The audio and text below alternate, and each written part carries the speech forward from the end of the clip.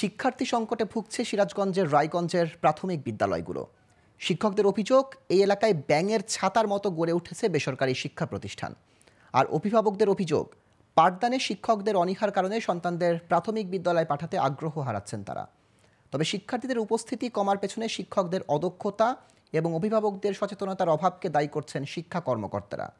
সিরাজগঞ্জের রায়গঞ্জ প্রতিনিধি মোহাম্মদ মামুনুর রশিদের তথ্য, চিত্র ডেস্ক রিপোর্ট।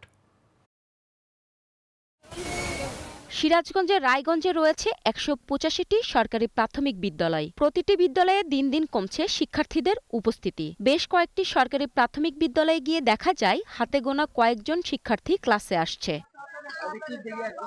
শিক্ষকদের দাবি, একই জনপদে বেশি প্রাথমিক বিদ্যালয় সহ বেসরকারি শিক্ষা প্রতিষ্ঠান থাকায় শিক্ষার্থী সংকট। তারা মনে করছেন, সরকারি প্রাথমিকে শিক্ষার্থী বাড়াতে অভিভাবকদের সচেতনতার প্রয়োজন। আমাদের আশেপাশে বিভিন্ন ধর্মীয় স্কুলগুলো, যেমন মাদ্রাসা তারপরে হচ্ছে কিন্টার গার্ডেন এই স্কুলগুলো মানে বাচ্চাদেরকে টানে বেশি। বাচ্চাদেরকে বিভিন্ন ধর্মীয় প্রতিষ্ঠানে ভর্তি করছে। আর বাচ্চারা ধর্মীয় প্রতিষ্ঠানে যাওয়ার কারণে সাধারণ শিক্ষার প্রতি তাদের এক ধরনের অনীহার সৃষ্টি হয়েছে। এখানে যদি টিফিনের ব্যবস্থা করে কিংবা অন্যান্য সু- সুযোগ সুবিধা পায় তাহলে মনে হয় আমরা সে প্রতিষ্ঠানে উন্নতি করতে পারব। অভিভাবকরা বলছেন সরকারি বিদ্যালয়ে পাঠদানে শিক্ষকের অনীহা ও অবকাঠামো উন্নয়ন না হওয়ায় সন্তানদের পাঠাতে আগ্রহ হারাচ্ছেন তারা। শিক্ষকদের ওই রকম চাহিদা নাই।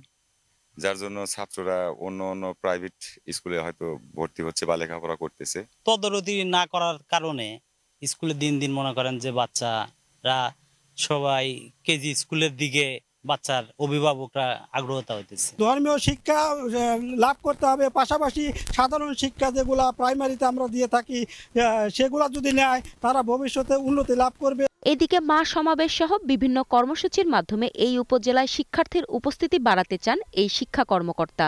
বিশেষ করে আমাদের মায়েদের সাথে আমরা যোগাযোগ রক্ষা করে এবং সেখানে উপস্থিতি বৃদ্ধির জন্য আমরা প্রচারণা চালাচ্ছি আমাদের। এতে করে আমাদের রায়গঞ্জ উপজেলাতে অনেক উপস্থিতি বৃদ্ধি পেয়েছে এবং আমরা আশা করব যে আহ, সামনের বছরে আমাদের আরও উপস্থিতি বৃদ্ধি পাবে এবং আমাদের লেখাপড়ার মান আরও আহ, উত্তরোত্তর বৃদ্ধি পাবে। রায়গঞ্জে প্রাথমিকে লেখাপড়া করছে কমপক্ষে বত্রিশ হাজার ছাত্রছাত্রী। প্রাথমিকে উপস্থিতি বাড়াতে প্রয়োজনীয় ব্যবস্থা নেবে কর্তৃপক্ষ এমনটাই প্রত্যাশা স্থানীয়দের। Global television news desk